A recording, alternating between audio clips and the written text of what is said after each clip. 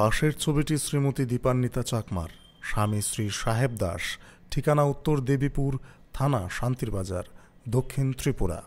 দীপান্বিতা চাকমার বয়স তিরিশ বছর, উচ্চতা পাঁচ ফুট, গায়ের রং শ্যামলা, পরনে শীতের পোশাক ছিল। গত আট এক দু ইংরেজি তারিখে সকাল আনুমানিক দশটায় কাউকে কিছু না বলে নিজ বাড়ি থেকে বের হয়ে যায়। কিন্তু এখনও পর্যন্ত ফিরে আসেনি।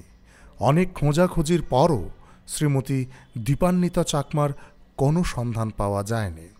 উপরে উল্লেখিত নিখোঁজ দীপান্বিতা চাকমার বিষয়ে কাহারও কোনো তথ্য জানা থাকিলে নিম্নলিখিত ঠিকানায় যোগাযোগ করার অনুরোধ করা হলো।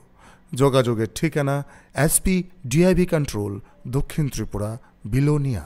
Phone number zero three eight two three two two two zero five two অথবা seven six two eight zero zero seven zero seven nine Santirbazar থানা, phone number nine four three six seven seven three six zero seven